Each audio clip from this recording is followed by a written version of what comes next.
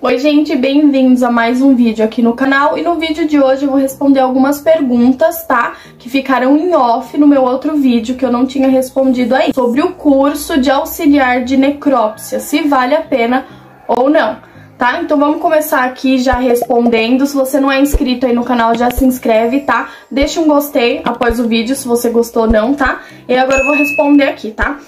Começando pela Samara Fernandes. Oi, gata, só exerce a profissão se passar no concurso? Não. Se você fazer o curso, você pode trabalhar na funerária, tá bom? Normalmente. Agora, se você, tipo, quiser trabalhar no IML, em alguma coisa assim, envolvendo a polícia científica, você precisa fazer o concurso.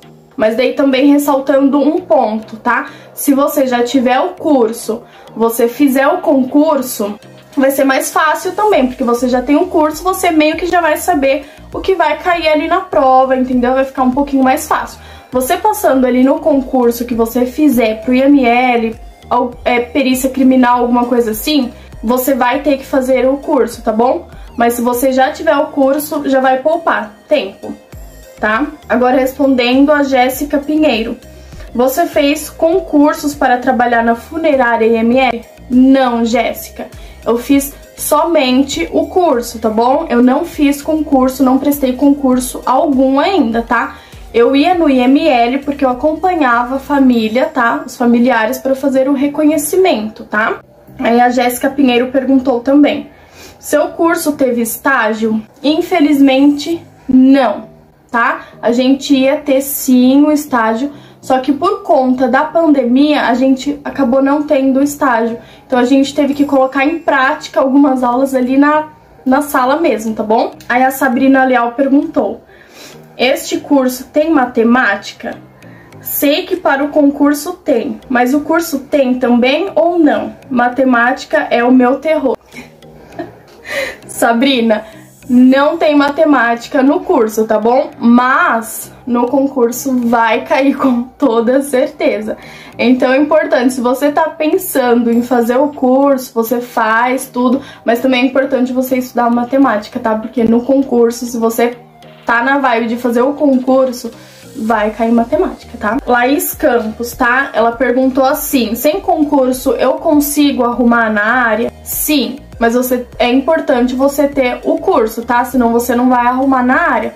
Porque como eu disse no vídeo anterior, é um mercado de trabalho grande, tá bom? Mas ele também é um pouco fechado para mulheres, tá? Ele é um pouco machista. Machista!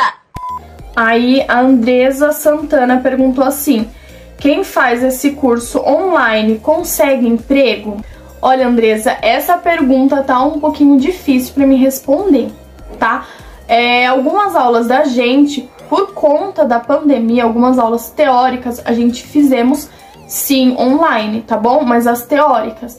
Quando é na parte da prática, infelizmente a gente precisa estar tá ali na sala pra gente poder é, mostrar como que a gente tá fazendo, porque na nesse curso a gente aprende a suturar, você entendeu? É bastante coisa assim que é só na prática mesmo.